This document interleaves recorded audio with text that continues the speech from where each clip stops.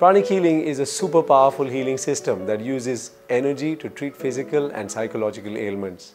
It is founded by Grandmaster Choa Kok Sui and as of today is being practiced in over 120 countries worldwide. It is based on two principles. The first, the principle of self-recovery, which means that the body is capable of healing itself. Now imagine you've had a cut, a wound or a burn.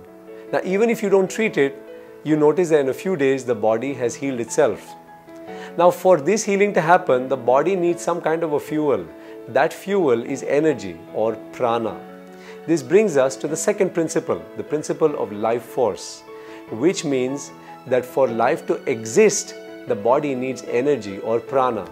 This also means that if your body has more energy, the rate of healing is highly accelerated. Pranic healing can be used to heal all kinds of ailments, ranging from simple to severe or chronic. Pranic healing is also effectively used to treat psychological disorders.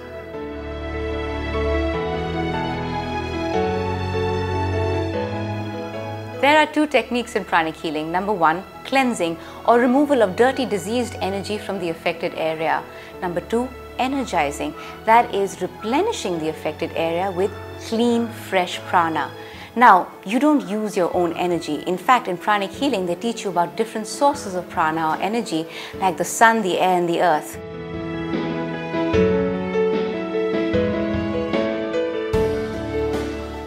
Pranic healing is a two-day class where after the class you will be able to heal family members and loved ones. Anybody above the age of 16 and a willingness to learn are welcome.